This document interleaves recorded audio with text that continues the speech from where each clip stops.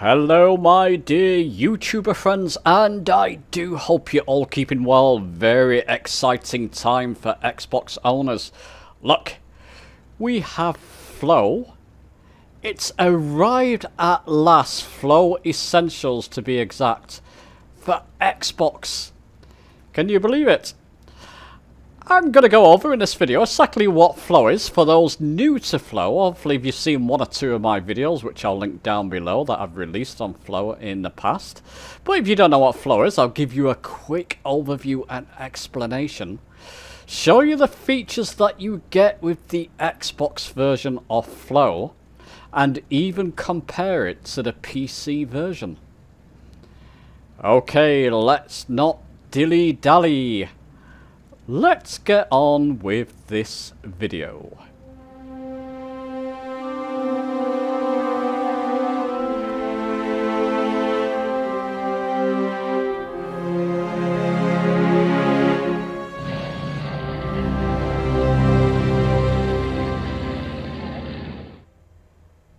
So for you Xbox owners who are very new to Flow, let me give you a quick recap of what it is. I've already made two videos on this, an introduction video and an advanced setting, which I'll link down below in the description. Go and watch them if you want a more thorough explanation of what Flow is. Let's give you a quick recap though. Let's go to tutorials and restart the tutorial. This is what you'll get when you first buy Flow and install it on your Xbox. Goodbye toolbar, hello flow, begin. Using a mouse, I would recommend you can use the gamepad. I just find it easier to use a mouse as always on Xbox. Now you can enable or disable this top toolbar. A lot of people don't like this, so this would be a godsend for some people. So if you click on next there, you can either say remove it or keep it. Doesn't remove it all altogether, but I'm going to Actually, I'll click on remove and show you what happens. Then it tells you here how to assign a button for the help menu. Go to your control options, type in help menu in the search by function or search by input, or search by name rather. Just type in help or help menu. And then assign a button. I've got a button on my Velocity 1 flight stick, which I do on my PC as well, to bring up help menu, which brings up the flow wheel. So do assign a button for that. Go to next, it will give you spiel on flow. Let's get through this quickly. And you can subscribe to stay in touch. If you buy flow, you can read through that at your own perusal. This is the wheel. This is what flow is all about. I believe these are all the default options it gives you on the wheel. And you can add more, which I'll show you later. Let me just go back a little bit there. Let me just rewind and just take things a little bit slower for you there. Click out of this box. So if I click the button I've got for help menu, it will bring up the wheel. You can click on the, click on this cog here. This is the settings for flow. Now I did say the interface. I disable the top toolbar. If I mouse up, nothing's coming up on the top now. Doesn't remove it. If you click off this under interface, under settings, disable default toolbar, you get your toolbar back if you need it. I'm going to keep it there because there's something I want to refer to. You can increase the range of this scale here for settings. Increase or decrease. I prefer it at default. It's big enough for me. The wheel, same thing. You can increase it or decrease. I like the wheel at 140%. If it was any smaller, I don't like it. On PC and Xbox, I like it around this size or that size. Suits me. You can have always centered. Now, what this does, I'm using a mouse, so let's click off that. Click out of this, and get rid of that wheel. Wherever the mouse is, the wheel will appear. So if my mouse is over here, the wheel will appear. Some people like this. I don't. I prefer it to always have it centered. If I'm messing around in a cockpit, sometimes the wheel, I'll have to drag it. Click on any of grey part of the wheel to drag it. And you can move it around. So if I, my mouse is over here, I can't see the wheels sometimes. I just prefer to have it, from experience, I prefer to have the wheel always centered. What that does, it's self-explanatory, isn't it? Always brings it up in the center. You can still move it around if you want to. But if I don't have the wheel up, it will always come up in the centre. That's the way I prefer it. Let's get to the meat and veg. What do you get with Flow? Thankfully to say, with Flow Essentials, same on PC as well, you get the portal. So I've got a couple of people here. Now, unfortunately, these are loading into the sim. He's on his homepage. He's onboarding. He must be coming into the sim. Doberman and Be Beaming Noble Drew.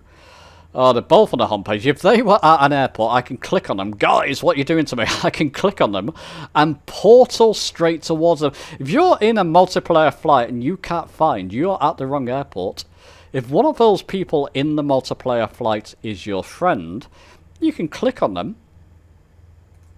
Your whole aircraft will portal straight towards them at whatever airport they are at. Chaps, you are letting me down. Please get to... okay, Skycraft, got a few people uh, up now. A few of my friends up. Before there was nobody, but they're all coming up now. I'll come back to that, see if I can show you that portal feature later, if they're at an airport or in the sky. Time, slightly different. If you remember in the top menu to change your time, you would have to click your weather and you can change your time here. That's the default. Now, with Flow, you get this nice nifty wheel. Look at it. But I want to get to darkness. Whee! you can set some nice transitions if you're filming and recording something, a video. You can really go to town. It's very, very nice. I like that time wheel. The weather wheel's also different. Gives you, I'm in live weather at the moment. Gives you your wind knots, wind direction. Click down here. You can change it between any of the presets. Let's do storm. Oh, I do love storms in Flight Sim. Let's put it on back on live weather with lovely weather. Uh, now the runway is going to stay wet for a little bit because it was raining under storm. So there you go. Weights and balances are the same. And you've got things like cameras, which are very different now. You can go between different showcase cameras. Some very nice views. You can even put these on the wheel itself. I don't want to make this too much of a tutorial into Flow because I've showed this in my other videos. Go and watch them down below in the description. One thing I will add, uh, show you though is that you can add things like different uh, widgets down here, core widgets panels. So something's not there, like the VFR map, I can add it to that so I can get the VFR map up now from Flow. Uh, radials, different types of things. What I do like is that you can add a folder. I'll rename that folder. Uh, let's just call it, I'll grab my Xbox controllers. I don't have a keyboard attached to my Xbox currently, but it won't take me a second. So it's come up, but I can just do that. Servers. There you go. It's called service. Now my camera's going to go a bit dotty when I do this. I've just got a confliction, but never mind. Okay, so now I've got service. If I click into service, nothing's there, but I can add game service. To do this, just scroll down under core widgets, go to game service. Let's click. Let's put in all these different servers, shall we? East USA server. Let's, why not add them all? Because if you're doing a multiplayer flight and your, or your friends are on a different server, and then just click this button to get out of that, I, click of a button. If I want to go to Southeast Asia server, I'll click it.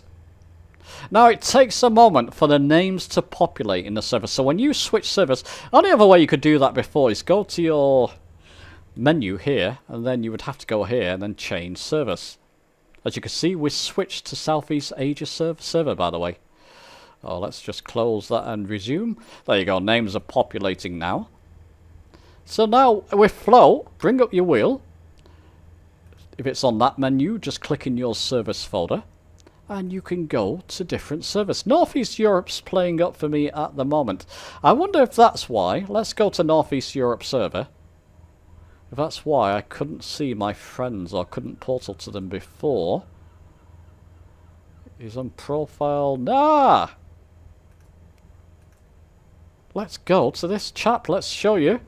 Going to friends. So we're going to Sky Cruiser. Wait for the scenery to load. So it's just to give you an example of what Flow can do. Don't believe you could do this on the Xbox at least before Flow. could be wrong or there was a different way. This is a much neater way of doing it. There you go. I've come straight towards him.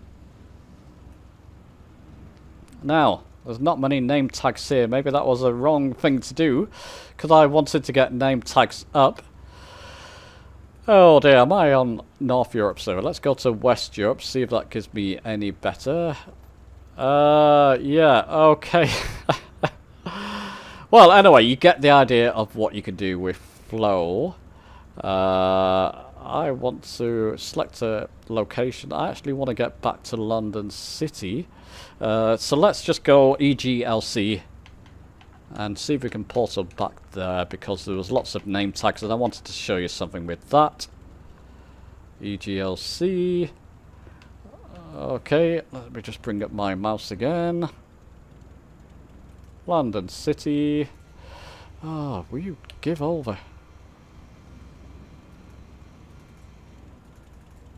Oh, I'm not quite sure how to portal straight towards there, unless I can. Let's just... Ah, I can. Go! Let's go back to London City. Something I hadn't tried before. Rare achievement, road trip. taxi and aircraft. I didn't taxi a uh, game, but I'll take that achievement. That was fantastic. This gives you an overview of what Flow is. I don't want to go into too much more than this because I've showed this in other videos. What I do want to show you is the custom name tags. Now, I'm going to link a video in this case in the top right. I made a whole separate video oops, on custom name tags. And the way to do that Go into your settings in Flow, go to nameplates. By default, it's already on custom name tags, and you can change colors. I'm not going to show that's going to make this video a whole lot longer, but uh, watch that video I've just linked in the top right. That shows you how you can change these colors to get these custom name tags. If you don't want custom name tags for whatever reason, I don't know why you wouldn't, you go back to your default ones. Uh, not very nice at all. I prefer the custom ones. In a nutshell, that that's what Flow is. Just as a side, with the Xbox version, they've added more widgets I see with the default widgets. This is your first wheel. You get to your second wheel here. So you get things like nav, beacon, lights, that type of thing. Turn them on or off. Uh, gear, if I had a gear here, battery. Let's just see battery. Oh, it's only at 78%. Let's increase that. Now it's at 100%. Radials, uh, let's get in the cockpit. Let's just show you this quickly. Let's just get rid of that wheel and just zoom in a little bit to these com radials you can see at the left there. If I want to change between standby and active, I can do that with a press of a button from Flow. You can do this in the cockpit as well, of course, or with your radio. Well, not with Xbox. You can do it in the cockpit with Xbox. I was going to say with the radio panel, but you can't use the radio panel, Logitech radio panel on Xbox. So there's a different way of doing it. And you've got things like uh, cameras so if I go to drone camera, I've been messing around with this. Now if I grab my Xbox controller, I'm just using my Xbox controller to move around. If I want to increase the speed of that, so just a different way of doing it. I can do it with a click of a button, 100%. So there you go. I'm showing you many different features. You're probably getting dizzy with what I'm showing you there, but many different features. You've got one specific to your aircraft. What I like to do is click on that, just left click and hold, Scroll down to the see fuel. Add fuel 25%. Click out of that. Let's just get back to my cockpit instruments or external camera. Now, get back to that wheel that I just added, that menu. I'm at 74% fuel. If you're in the air, you're running out of fuel, quick way to do it. So I'm running out of fuel, or I'm down to 5% fuel. I'm not, 25%. Scroll to this wheel, and you can have this on your first wheel if you want to.